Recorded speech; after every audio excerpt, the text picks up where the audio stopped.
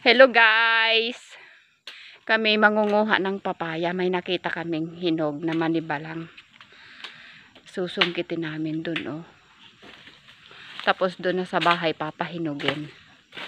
Pero yung kinuha naming papaya ngayon, ilalahok bukas sa nilagang baboy. Pang almusal bukas ng umaga. Ayan, ang daming bunga ng papaya. Yun oh, yung kulay dilaw. Pala? Oo.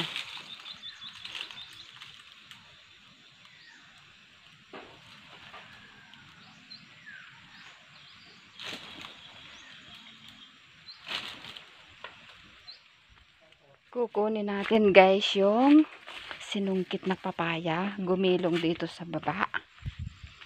Ayan guys. Oh. Libre na naman ang pagbili ng hinog sa bayan. Tapos, ito guys ang isa.